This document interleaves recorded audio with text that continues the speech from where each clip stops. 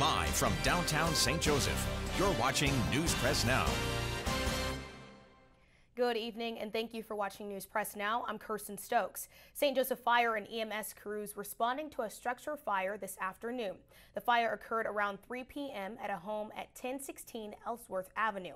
St. Joseph Fire Inspector Steve Henrichsen said no information is available yet on how the fire started, but the American Red Cross was called to the scene to assist those living in the home. No injuries were reported.